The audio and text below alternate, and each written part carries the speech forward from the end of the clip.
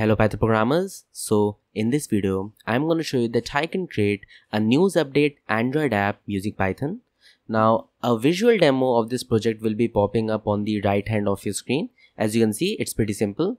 You press the button and you get the latest news headlines. Now I intentionally took this basic project as my first project for Android app development because it's always good to start with the basics, right? And I have multiple projects lined up on this uh, Android app field. I have audio control, camera control, uh, login sign up and multiple projects like this and then we'll move on to game development also. Okay, I mean game development with Kivy in uh, Android app. And also present on the screen is the content of the video or the process of uh, execution. Let's start off with the step 0 which is to install the required package. You need to install only one package which is Kivy. So quickly open CMD and write pip install uh, Kivy and uh, for majority of you it will take some time because it's a big package it will take some time but uh, it will get installed. But if you're getting some error here then what you need to do is you need to go to this website. I'll provide this link in the description. Uh, you need to go to this website. This is the unofficial web page for uh, python binaries. You need to search kivy here and then download it according to your python and system version. So after our package is installed let's get to our editor and start writing our code. Okay, so now we are into our editor. Now this project can be split into two parts can be divided into two parts. First is the front end the gui part and second is the back end or the logical part. Okay let's start with the front end first. For front end you need to create a kivy file okay when you are creating the file just write the extension of .kv. Like uh, in python we write .py in kv write .kv. Okay so we have only one screen in this uh, app okay which is the new screen. Let's say new screen. We'll have this new screen and uh, we have two parts. On the right hand of your screen you can see the GUI of our app. We have two parts. First is the part where the news will be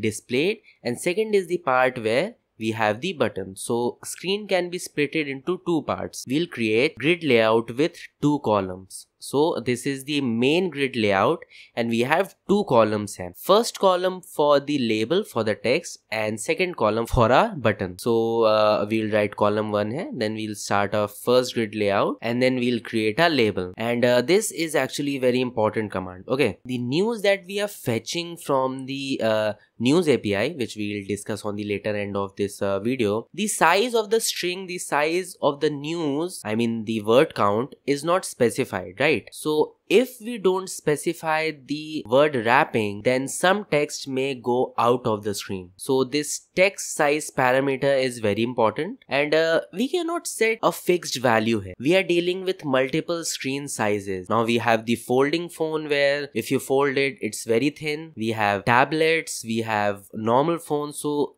screen sizes vary to very great extents. So we have to calculate the screen size and then deal with that value. Okay.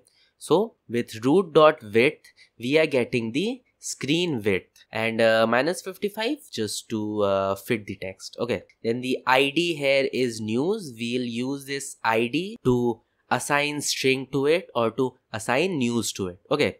And uh, initially the text is zero. There will be no string inside. There won't be any text on the screen in the starting. So this was the label part. This was the text part. Then we have the second layout uh, sorry uh, grid layout which is for the button. So uh, we have to specify the size hint so the size of the button according to the screen. And then this is the padding. Now the padding is the space from the corners 10 units from all the corners from the top from the bottom from the right from the left okay? 10 unit is the padding from all the corners. And uh, as we know this is the column second and uh, button keyword we'll use to create the button. And this will be the text on the button. And this is the on press okay? So what function will be triggered on press of this button. We'll handle this part in the back end which uh, we'll do with python. This is kivy. So uh, on press this function will be called this get news function will be called. So this was our front end screen. Now this is a screen layout. Okay but for this screen layout to activate we have to create a main function or a trigger function. So we'll create this main widget here and we have only one screen uh, which is name screen and we'll name uh, we'll uh, assign a name to it new screen. Okay. So this was the front end part of our app. It's pretty simple. We have two components our uh, text and the buttons and our button will trigger this function. Okay. Now let's go to the back end and see how we are feeding the data to this front end. Okay. So this is our python backend file. So uh, before we move ahead let's have a word from our today's sponsor this video is sponsored by Unacademy. Are you a student or a working professional who is looking for a great career in software development? Then you have to think about these aspects like what's trending in the industry and the kind of questions being asked in the interview. What's the thought process behind the architecture of great applications like Google, Amazon, Zomato, and Ola, and how to improve your CodeChef ranking. So to achieve all these goals, what you need to do is you need to go to unacademy.com slash goals slash career as a software developer. I'll provide this link in the description. And first, let's talk about the host or the mentors of these courses. Now, these hosts are working with some of the top companies like Google, Amazon, to name a few. They are 7 star coders on CodeChef and are industry experts with years of experience. And what they'll do is they'll walk you through their own industry experience and interact with a lot of guests like HR and industry leaders of top companies where they'll ask questions raised by you. Now this was about the mentors. Let's go to the live sessions and see what they have to offer for you. Now, in these live episodes, you'll get an opportunity to ask Tech HR about top 20 questions and industry leaders directly about their recruitment process in startups and multinational companies. What is the eligibility and how to apply and how they build such great projects. And not only this, you can participate in mock interviews and learn courses on programming languages, blockchain and crypto, cloud computing, tech aspects of digital marketing, data analysis, and many more. One of the India's leading digital marketing expert will be coming live on a weekly basis and teaching digital marketing using practical projects and tools. Get to understand the technical aspects in a fun and easy way. You will be taught all about the digital marketing from zero. So don't worry if you don't know the basics. Now, we all know about the ads which run over multiple apps like YouTube, Flipkart, Amazon, Instagram, but how the companies manage to target the correct audience and convert these leads into sales. And what is that you'll not find on YouTube but will find in these courses? Things like live projects, interactive sessions, and many more things. Now, you must be thinking that you have to pay a hefty price for courses like this, but no, you have to pay 999 rupees per month to get access to all of these codes. But wait, there is more. If you use my code Harshit Roy, you will get an additional 10% off. Let me show you you need to just write Harshitoy and click apply and you'll get an instant 100 rupees off. So all the links will be provided in the description. Definitely check them out and let's move on to our next project. Okay, so now we are back into our editor. So first of all, we have to import the required libraries. We have to import a few classes from Kivy. First is the uh, main app class. Then we have builder class which will be used to load our design kv file. Then uh, we have screen manager and screen and then we have our core window. Okay so these four are the basic requirements to create an kv app but uh, we are also making a api request. So we have to use some sort of URL request library. So this URL request is the package that Kivy provides for request. Okay so we'll call this class here and uh, it also needs a certificate. So i guess it comes with kivy but uh, still you can double check it. Just uh, pip install certifi. Randoms comes pre-installed so we don't need to install that. So first step is to load our kv file. Okay so the name of our file is design. So we are using the load file class from our builder and the file that we are loading is design.kv okay so as soon as this program is uh, executed this python program is executed after this uh, kv file is loaded.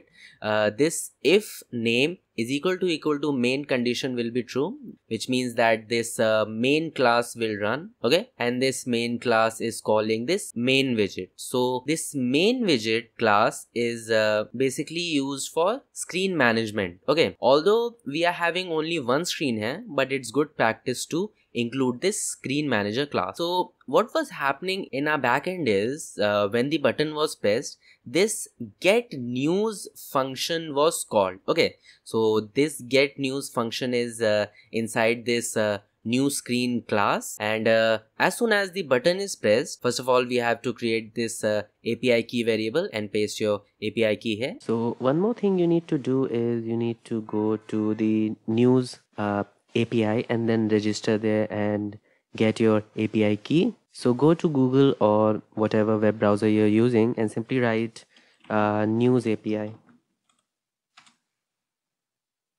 Go to this website. I'll provide the link in the description also and then click on get API key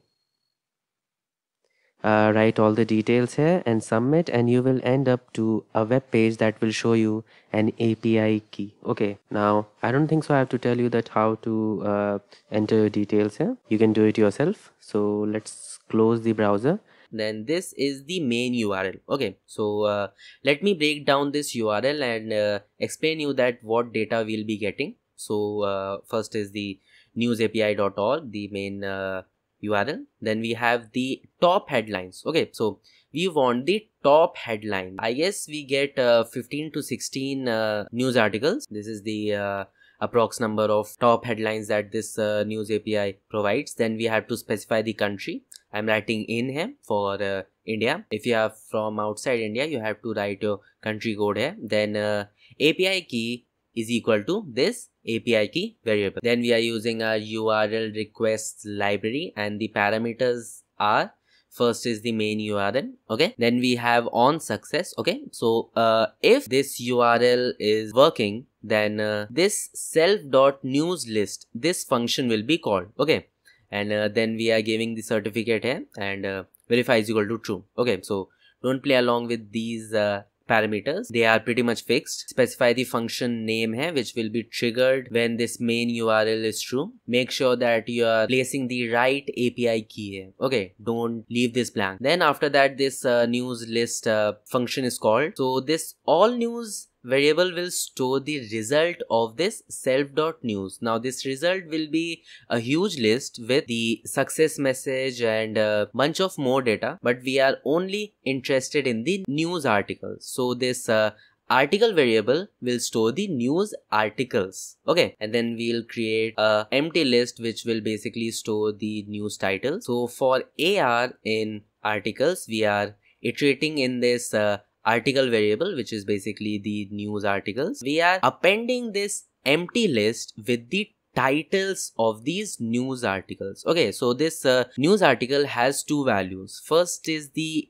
title and second is the body of the news. Now the body of the news is uh, really big and we don't want that. We only want those cheesy titles. Okay so those titles will be stored in this uh, news articles list. And then what we'll do is just uh, ignore these commented part. This was my rough column. Uh, then what we'll do is we'll randomly select a news article from this list and store it in this final news article variable. Okay and then what we'll do self.ids. Now, if you remember from our design KV file, the ID of our uh, label was news. Okay, so news.text. So the text inside that news label will be final news article, the randomly selected news article okay so this is the backend of our android app. Now the third part is very tricky. Creation of a apk file. And uh, it's very hard to do this task on a windows machine. So if you're working on linux then uh, wonderful. If you don't you have to install a virtual machine. So the next task is to install the virtual machine